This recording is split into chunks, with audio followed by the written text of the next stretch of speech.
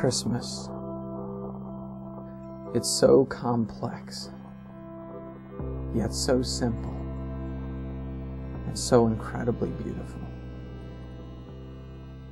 I think about the wise men, how they came with their gifts of gold, frankincense, and myrrh, gifts fit for a king.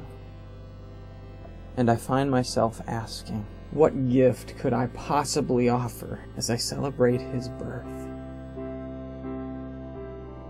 I mean, 2,000 years before every mistake I have ever made, every hurt I have ever felt, and every wrong I have ever committed. A Savior was born. A Savior that would heal, perform miracles, and ultimately give his life as a ransom for me to save my messy life. He gave the gift of himself. So it seems the greatest gift I could give to him would be to just follow his lead, to give him the gift of myself.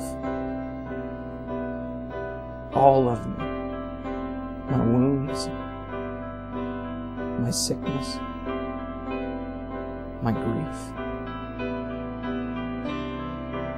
everything. When I do that, when I give Him the gift of myself, it doesn't stop there. He just keeps giving back.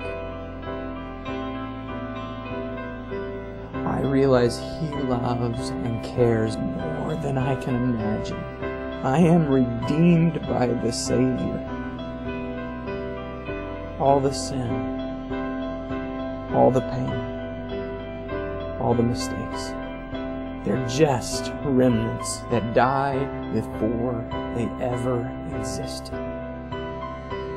Thank God for Christmas.